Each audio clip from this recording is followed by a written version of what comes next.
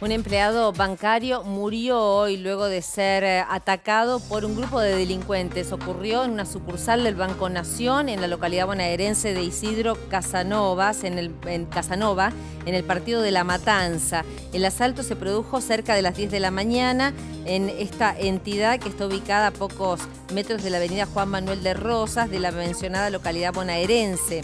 Uno de los cajeros de la sucursal, que ha sido identificado como Germán Chávez, de 31 años, resultó asesinado en medio de un tiroteo que se produjo entre la banda y un efectivo de la Policía Federal. La secuencia arrancó esta mañana cuando el grupo de delincuentes bajó de un auto modelo Renault Fluence e irrumpió fuertemente armado en la filial. El tiroteo se desencadenó tras la apertura del horario bancario cuando se cruzaron con los empleados bancarios en la zona de cajas y exigieron el dinero. En ese momento decenas de personas estaban esperando ser atendidas. Según algunas fuentes judiciales, los disparos se efectuaron cuando uno de los cajeros pretendió alejarse del lugar e intentó forcejear y allí uno de los delincuentes le ejecutó un balazo. Hay que decir que está trabajando por estos momentos Policía Federal en el lugar, también Policía Científica realizando los peritajes y que también hay todo un operativo de búsqueda de los delincuentes, uno de los cuales había ingresado al banco con una media en la cabeza y una ametralladora. Salieron con bolsas de dinero, aproximadamente un millón de pesos y una suma de 25 mil dólares. Hay una gran conmoción entre los trabajadores bancarios. De hecho, la Asociación Bancaria ha planteado una medida de fuerza para el próximo lunes. Vamos a escuchar lo que está pasando en vivo en estos momentos allí en Isidro Casanova son blanco de cualquier... acá había dos, seguridad privada, que no estaban armados. Claro, no carecen de armas, solamente están para vigilar al, público, pero no, no tienen capacidad de, frenar un robo de este tipo. Daniel, muchas gracias. ¿eh? Daniel Mercado de la Bancaria han venido aquí por, por su bueno, Nosotros estamos en vivo también hablando con Sergio Jiménez, que es eh, el responsable de la Bancaria. ¿Cómo le va? ¿Qué tal? Eh, una jornada lamentablemente no muy feliz para la familia bancaria habida cuenta de este episodio de Isidro Casanova que cobró la vida de un trabajador bancario.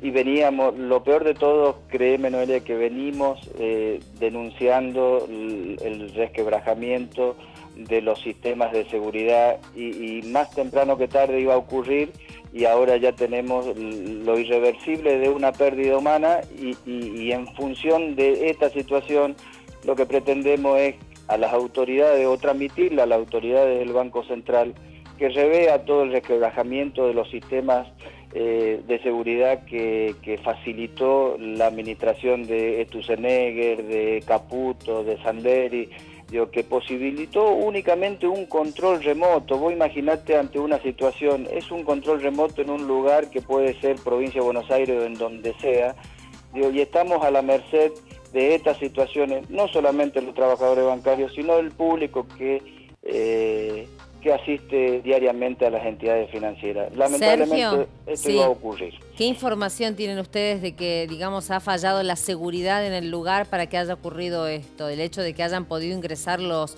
los delincuentes armados?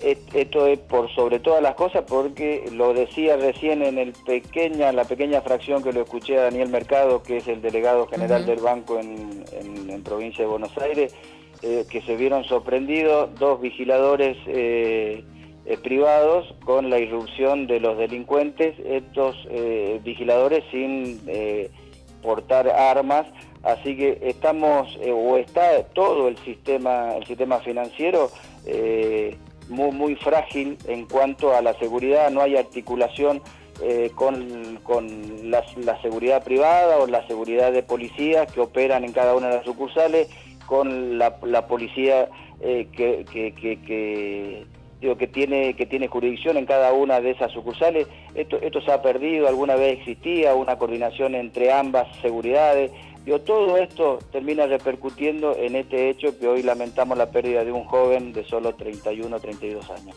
¿Y por qué creen que se ha recortado la seguridad? ¿Esto tiene que ver con, eh, digamos, achicar los, los costos por parte de las entidades bancarias? el, sistema financiero es voraz en, la obtención de ganancias y para el sistema financiero eh, la seguridad es un, es un gasto, no una inversión y esto se lo ha permitido las autoridades del Banco Central. Yo me parece que tenemos que volver a un sistema en donde la seguridad la seguridad que no solamente involucre a los trabajadores bancarios, sino a todos aquellos que concurren todos los días a las entidades financieras, se, se sientan protegidos primeramente por la seguridad que provean los bancos, y esto cada vez ha sido menor. Y hoy tenemos estas situaciones que hoy, que hoy lamentamos. Bueno, Sergio, ¿habrá entonces una medida de fuerza el lunes para protestar y para reclamar seguridad? ¿De qué manera la van a llevar adelante? ¿Son todos los bancos? Son todos los bancos, son las dos primeras horas de atención al público en el interior del país. Esto es de 8 a 10. Digo esto porque es muy probable que impregnado por la información de Buenos Aires aparezca otro horario. En el interior del país son las dos primeras horas de 8 a 10 y en el comunicado que ha emitido nuestro Secretariado eh, General Nacional también le pide a las autoridades del Banco Central una reunión urgente para tratar el tema de seguridad y este requebrajamiento que ha permitido las, las anteriores autoridades del, del ente rector. Bien, le agradecemos mucho que nos haya atendido.